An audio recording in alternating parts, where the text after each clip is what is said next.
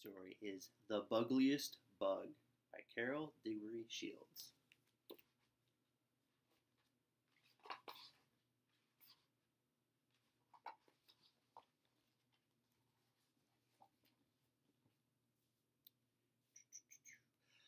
Do you have six legs?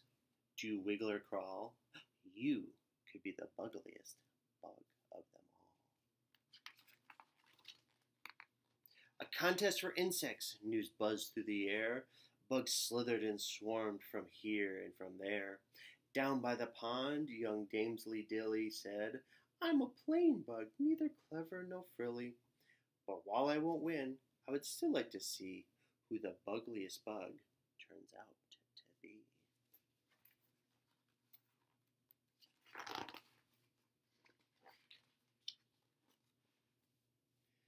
Fireflies lit up the stage with their lights. Glowworms glowed softly, a beautiful sight. A lacy white curtain hung from the trees and billowed and swayed in the warm evening breeze. The clearing was humming with bugs of all sizes, flirty and, flittery and jittery,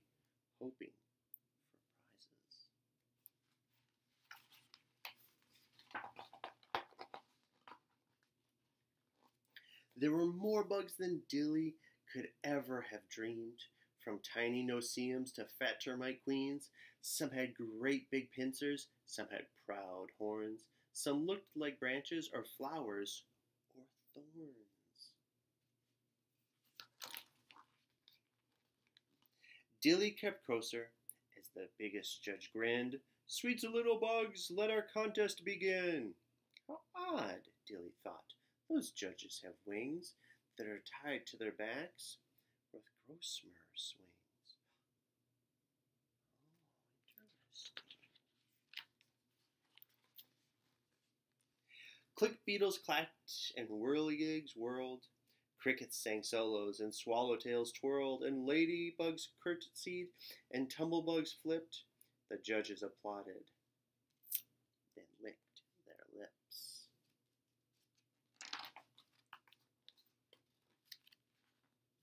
The judges looked shifty, so Dilly kept squinting. Then, sure enough, she spied their fangs glinting. She yelled, We've been flim flamboozled, distracted. Those judges aren't insects, she cried. They're arachnids. That big judge hissed softly, Too late for you all. It's curtain time now, and it started to fall. Folks, he continued, we liked all your acts, but we think we like you best. Much better as snacks. The bugs froze in fear. This looked like the end. But Tilly thought quickly and shouted out, Friends, there's only one way to get out of this mess. Each insect must do what insects do best. So, Charge! yelled the squadron of Swiss soldier flies and bombarded the uh, bombardier beetles took to the skies. Dilly whirled up through a hole in the nest. It's working, it's working. We'll beat those creeps yet.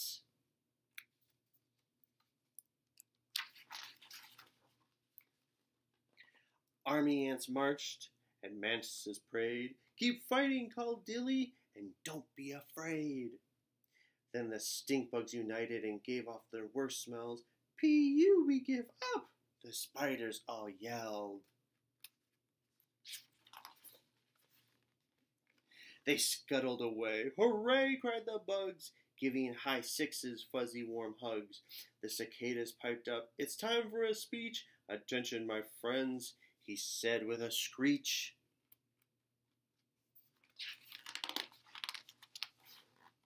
The contest is over and we have a winner. Without this young damsel, we would all have been dinner. She might be young and she might be small, but Dilly's the bugliest bug of them all.